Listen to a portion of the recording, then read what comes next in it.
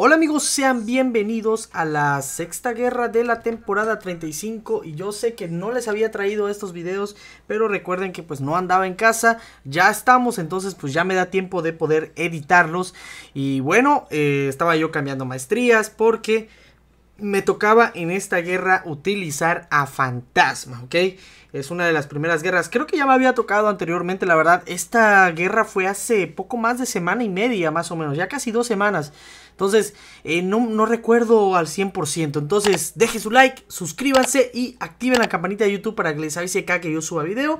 Así que, pues bueno, ahora sí, comencemos con la primera pelea, chavos. Ya que me puse suicidas, me tocaba bajarme a este masacre en el camino 9, primer nodo. Eh, es un nodo perfecto para Quake porque te van poniendo desventajas. Esas desventajas las conviertes en furia. Y pues, peleas súper sencillas, sobre todo porque inicié con pote de una barra de poder. Y no activé potencial tecnológico porque dije esto se puede complicar. No por esa pelea, sino por esta. Entonces, cada vez que aquí utilizas especial, bueno, cada vez que consigues una barra de poder, el enemigo consigue una, de, una ventaja de indestructible. Entonces no quería yo ganar poder con mis especiales. Y bueno, lo único que hice es conseguir mi especial 2. Y listo. con eso fue suficiente para matar a esa eh, Black Widow de origen letal. Y ahora sí activé potenciador tecnológico de 200%. Eh, cabe decir que creo que fue demasiado excesivo porque ustedes van a ver ahorita. Bueno, ah, fui consiguiendo desventajas y bueno, al final todos se morían de un especial 2. Eh. Por eso, amigos, es que ustedes deben de banear siempre a Fantasma. O sea, es irreal el daño que logra ocasionar ella. Y bueno, en el nodo 23 nos tocaba bajarnos a Kitty Pride en el nodo 23, ¿ok?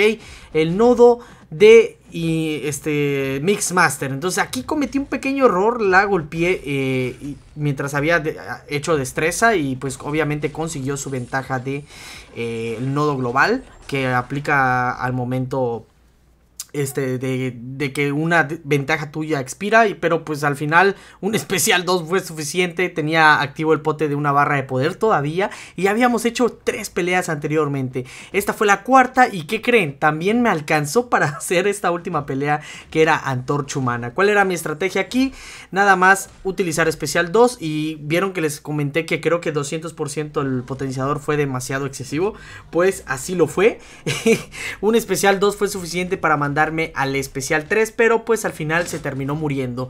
Eh, Fantasma se parece mucho al Cosmic Rider que un potenciador le da demasiado poder. Y bueno, ahora me tocaba bajarme a Hulk Inmortal en el primer nodo del camino 1. Este nodo, chavos, recuerdan que en la anterior guerra eh, de la alianza principal les dije que no quería cargarle el segundo poder. Es por esto, ¿ok? Eh, por lo general yo lo eludo siempre sin problema alguno, pero en esta ocasión fallé. Eh, vean, la pelea está súper controlada. No llevo sinergia de HUD, por lo que no me. No, puedo recuperarme del daño del recoil. Entonces, eh, ¿cuál es mi estrategia aquí? No tenía potenciadores activos, no activé absolutamente nada. Aquí eh, la terminé regando, me terminó usando especial 1, me aturdió y vean nada más ese daño que hace Hulk Immortal. sí, me terminó matando y yo así de que no puede ser. Cómo me terminó, me terminó, me terminé muriendo, ¿no? Eh, pensé que había sido por el especial 2, ¿eh? Pensé que había sido por el especial 2, pero no, ya vi que eh, eludí, eh, perdón, ataqué antes de tiempo al Hulk Inmortal y pues al final falló mi, mi, golpe y me terminó interceptando con especial y me terminó golpeando. Entonces aquí ya había activado su inmortalidad, entonces nada más era cuestión de quitarle lo último de vida que le quedaba. Y pues listo, ahora sí nos tocaba bajarnos a este Sauron. Aquí me potencié porque eh, se suponía que me tocaba el jefe, ¿ok? E, esta guerra fue un horror, la verdad, en el sentido de movimiento y todo. Bueno, eh, aquí contra este Sauron, ¿qué es lo que tengo que hacer? Eh, recuerden que para poder quitarle las eficiencias tienes que convertir, bueno, entrar en la otra, en el otro modo de fase del eh, Nimrod para ir anulando las eficiencias que va ganando el Sauron. Como ustedes pueden ver ahí, cada vez que lo bloqueo y mi ventaja naranja está activa, yo eh, anulo eficiencias del enemigo. Entonces, ¿qué es lo que yo estaba haciendo? Justo cuando cambió de modo, lo volví a cambiar con, finalizando con golpe débil y ya tenía mi especial 2 listo para lanzar y se murió ese Sauron.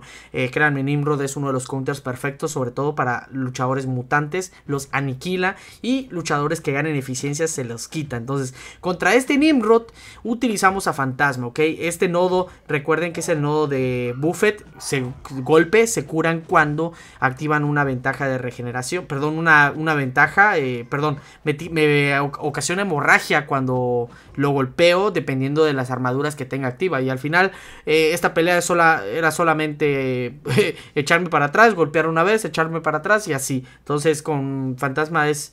Eh, es muy fácil. Entonces, eh, aquí mi compañero el ex Díaz se terminó bajando al nodo 49, el Arcus, se desesperó porque me tocaba bajarme al Doom con fantasma y le tenía que dar con el nodo enlazado. No le dio, o sea, bajó al nodo antes de tiempo. Yo así de que demonios, este men. Eh, terminé malgastando potenciador porque pues al final me había potenciado así por la pelea del jefe, no por esta pelea. Entonces aquí me terminó golpeando el último golpe y yo así de qué demonios, qué golpe me hizo.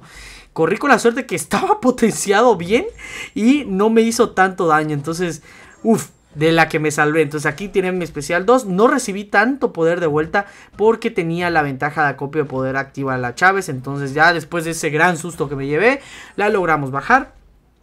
Y pues esa fue mi última pelea en esta guerra, chavos. Les digo, me tocaba originalmente el Doom, pero pues mi compañero se bajó al, al, Vision Arcus que estaba ahí en ese nodo antes de tiempo, entonces pues ya no me lo pude bajar yo.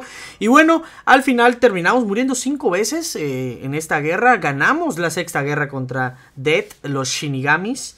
Y eh, ellos murieron bastante. Nosotros solemos terminar el mapa el mismo día antes de dormir, casi casi cuando nos vamos a dormir ya tenemos como 130, 140 nodos.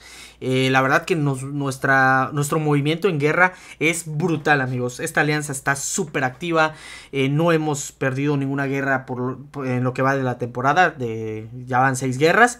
Y pues, chavos, voy a estar trayendo estos videos de guerra lo más rápido posible para ponerme al día hasta la última guerra que ya estamos, que estamos jugando actualmente, la guerra número 10. ¿Ok?